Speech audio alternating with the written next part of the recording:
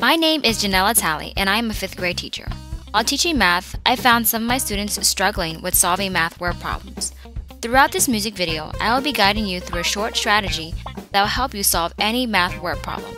It's called CUBES. CUBES is an easy strategy that stands for circle, underline, box, evaluate, solve, and check. Once you understand how to annotate and break down the problem, then solving the problem will come easy.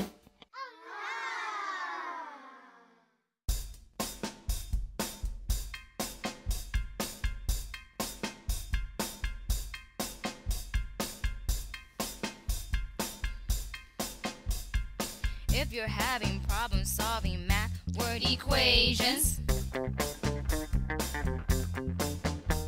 then sit down and listen to the simple explanation.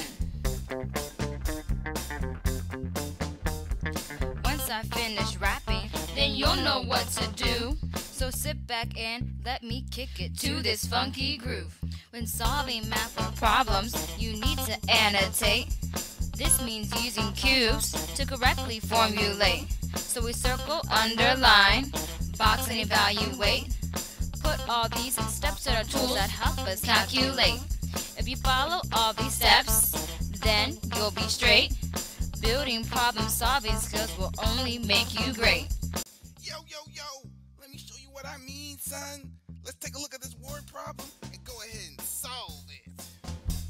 The first step is to circle numbers that you need to solve. Underline the question so you know what's involved. Now box the math action words that tell you what to do. Finally, evaluate and solve. Now you're through. When solving math problems, you need to annotate. This means using cubes to correctly formulate. So we circle, underline, box, and evaluate. Put all these steps in our tools that help us calculate. If you follow all these steps, then you'll be straight. Building problem solving skills will only make you great. Yo, yo, I think it's time we break it down. Looks like you guys got it, so let's get funky and do the cubes dance.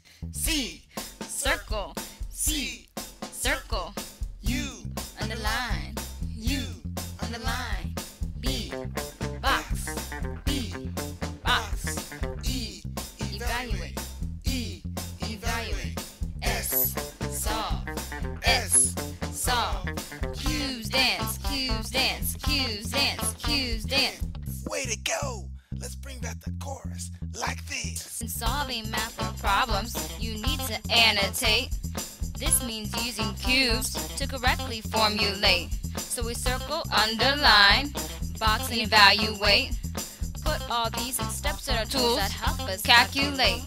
If you follow all these steps, then you'll be straight. Building problem solving skills will only make you great. Peace out. This is Miss T. See you next time.